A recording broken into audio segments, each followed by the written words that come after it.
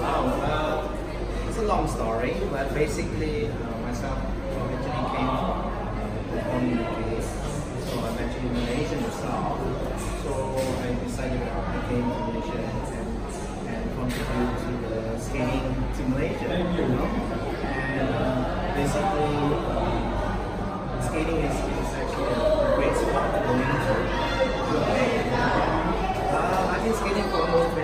Uh, okay, no, no, I love I can balance it and, and also uh, I love teaching and I love to talk about ice skating. Uh,